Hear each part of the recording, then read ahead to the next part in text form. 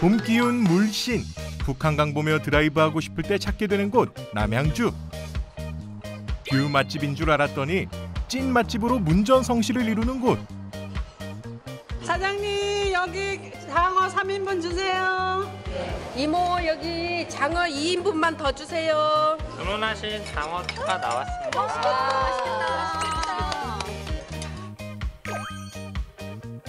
상충객들의 입맛을 사로잡은 음식은 바로 보양식의 대표 주자 장어. 금강산도 식후경, 경치 구경도 잠시 장어 맛에 푹 빠진 사람들. 일단은 봄이니까 좀 피곤하잖아요. 근데 그런 것도 없어지고 입안에 퍼지는 고소한 맛에 재방문율 100%를 자랑한다는 이곳. 보양식의 끝판왕 숯불 장어구이. 그 맛의 비밀을 파헤쳐 볼까요?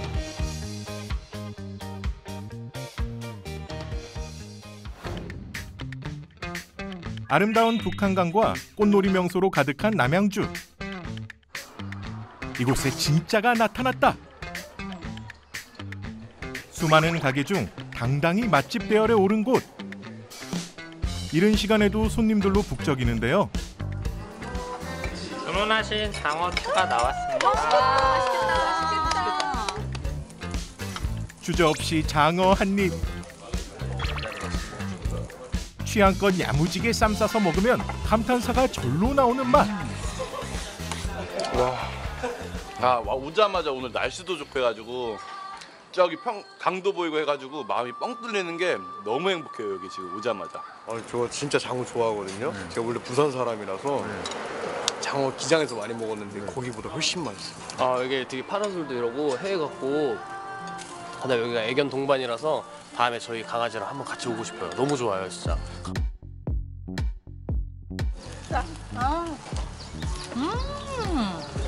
너무 맛있어. 맛있게 먹고 건강까지 챙기는 장어구이 맛집의 비밀은 뭘까요? 안녕하세요. 여기 장어구이 맛집이라고 해서 찾아온 건데 잘 찾아온 거 맞나요? 네 맞습니다 장어구이 맛집입니다 오로지 맛있는 장어구이를 위해 연구해왔다는 주인장. 장어구이 맛집은 엄청 소문이 많이 났던데 비법이 뭔가요? 장어가 맛있어야죠 그래서 저희는 국내산 100% 민물장어만 사용하고 있습니다 국내산 자포니까 산미 장어입니다 국내 종으로서 국- 전라도 일대에서 생산되는 장어입니다 근데 산미는 뭐, 뭐를 말하는 건가요? 키로에 세 마리라는 뜻이에요. 산미가 사실 가장 담백하고 고소하고 씹는 식감이 좋아서 구이용으로는 가장 좋아요. 그래서 저는 산미만 사용하고 있어요. 하루에 매일 30kg씩 들어옵니다. 30kg씩. 네네. 전라도 일대에서 양만장 다섯 군데에서 선별해서 정산미만 들어오고 있습니다. 국내산 장어 확인하고 드세요. 그런데 갑자기 수상한 행동을 하는 주인장. 아, 밑 빠진 독에 물 붓기도 아니고 궁금한데요. 사장님 지금 뭐 하고 계신 거예요? 네, 바닷물하고 민물을 섞는 중입니다. 바닷물과 민물을 섞는다? 원래 민물 장어는 태어났을 때 바다에서 태어났기 때문에 바닷물을 같이 섞어주면은 더 고소하고 담백해지고 살도 단단해져서 맛있습니다. 바닷물로 샤워를 마쳐 더욱더 고소하고 쫄깃한 장어구이. 숯불과 만나면 겉바속촉 장어구이 완성. 미나리랑 이거 대파랑 넣으면 진짜 맛있어. 장어구이라고 다 같은 맛이 아니다. 씹으면 쫀득쫀득. 놀러 왔다가 활력 충전까지 하고 간다는 보양식의 끝판왕.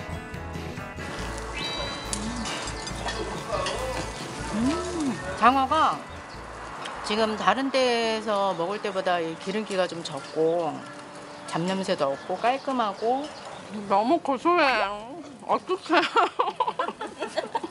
저 얼굴 빨개졌죠? 아니요 괜찮아요. 안 빨개지. 아니요, 이거 장어를 먹으니까 기운이 팍팍 사는 것 같은데. 아 진짜요? 네. 주인장은 장어 손질도 직접 한다는데요. 번거로워도 장어 손질만큼은 다른 사람에게 맡길 수 없답니다. 야, 장어를 손질하는 손길이 범상치 않은데요.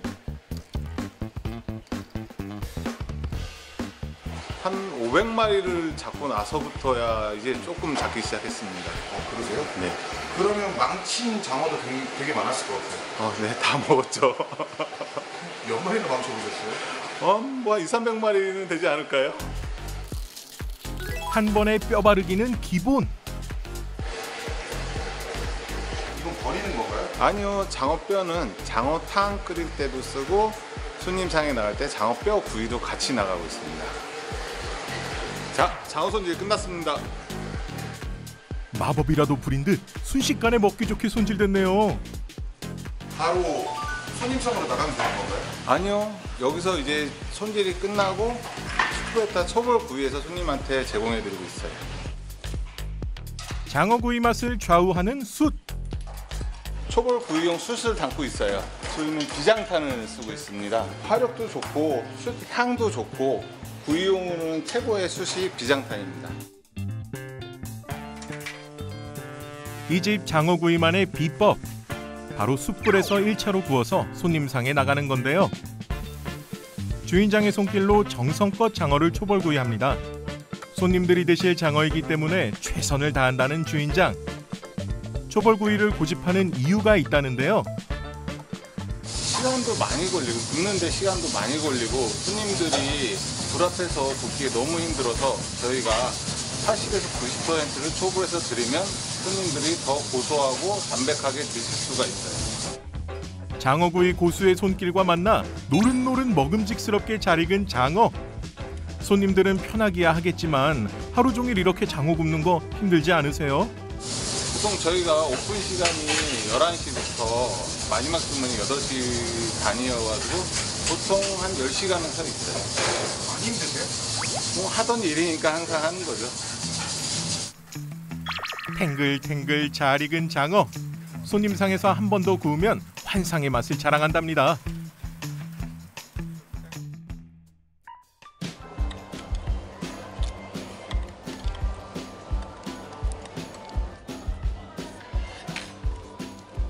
그런데 장어를 미나리에 싸서 먹는 손님들. 장어구이와 미나리의 조합 상상이 안 되는데요. 과연 그 맛은 어때요? 미나리랑 궁합이 진짜 좋아요. 안 느끼하고 너무 상쾌해요. 장어집에서 만난 봄의 전령 미나리. 그러고 보니 테이블마다 미나리가 올려져 있는데요. 향긋한 그 맛은 물론 혈액을 정화시켜주는 미나리. 장어와 미나리의 만남 어떻게 성사됐는지 궁금합니다. 네, 제가 삼겹살하고 미나리하고 같이 한번 먹어봤는데 너무 맛있더라고요. 미나리 향도 많이 나고 해서 어 이거 장어하고 같이 쌈 싸 먹으면 너무 맛있겠다 해서 저희 매장도 제공하게 되는데 주인장의 가게에서는 미나리뿐만 아니라 다양한 반찬들도 함께 제공하고 있었는데요. 과연 주인장의 강력 추천 반찬은 첫 번째는 백김치고 두 번째는 대파김치입니다.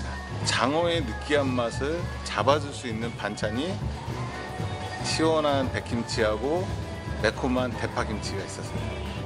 장어에 이어서 이번엔 생강과 사투를 벌이는 주인장. 네, 저희가 껍질 까고 채 썰어서 손님한테 제공해드리고 있어요. 근데 이렇게 직접 하시는 이유가 있으세요? 다른 매장들은 절인 생강을 많이 쓰는데 저희 매장은 생강 향이 확실히 틀리기 때문에 생생강을 썰어서 직접 사용하고 있어요. 여기 장어탕 하나만 주세요.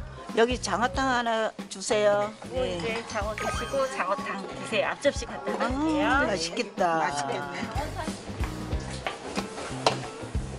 장어 손질하고 남은 장어 뼈입니다. 오, 이걸로 뭐 하시려고요? 네, 장어탕 육수 내려고 합니다. 뭐든 대충 하는 법이 없는 주인장. 장어탕 하나에도 비법 레시피로 정성을 다해 끓인다는데요. 장어 뼈는 이렇게 넣고 6시간 정도 끓입니다. 굉장히 오래 걸리네요. 네, 장어 뼈가 으스러질 때까지 잘 끓이고 있습니다. 한 8가지 정도 들어가요. 뭐 대표적으로 이제 된장도 좀 들어가고 들깨가루 넣습니다. 부모님을 모시고 오는 손님들에겐 제대로 효도할 수 있는 메뉴가 바로 장어탕이라는데요. 장어구이에 빠질 수 없는 장어탕까지 나들이 왔다가 건강까지 제대로 챙겨갈 수 있답니다. 장어탕은 이렇게 먹는다. 뼈까지 우러난 국물에 밥 말아서 호로로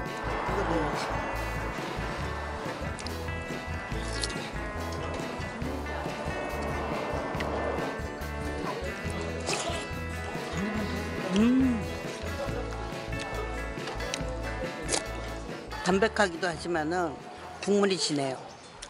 음, 그래서 보양이 될 거예요. 보양식. 보양식. 음. 매일같이 장어를 굽는 주인장. 앞으로 꿈이 있다는데요. 항상 우리 손님들이 저희 매장에 찾아주시면은 맛있고 행복하게 드셨으면 좋겠고요. 그러기 위해서 저도 항상 건강하고 행복했으면 좋겠습니다. 맛있는 장어구이 드시면서 입으로 즐겁고 멋진 view를 감상하면서 눈도 즐겁고 면역력 떨어지는 환절기 장어로 활력 충전 어떠세요?